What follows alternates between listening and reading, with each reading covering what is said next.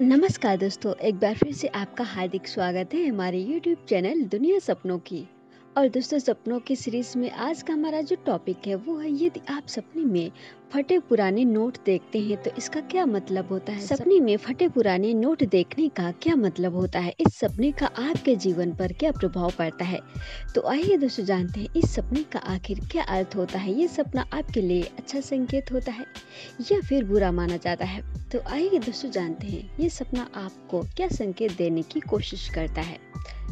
दोस्तों, यदि कोई व्यक्ति सपने में फटे पुराने नोट देखता है तो ये सपना उसके लिए बिल्कुल भी शुभ संकेत नहीं होता है। सपने में फटे पुराने नोट देखने का अर्थ होता है कि आने वाला समय आपके लिए आर्थिक परेशानियों से भरा होने वाला है। आपको आर्थिक तंगी का सामना करना पड़ सकता है। इसलिए ये सपना यदि आप देखते हैं तो बिल्कुल भी अच्छा संकेत नहीं होता है आपके लिए।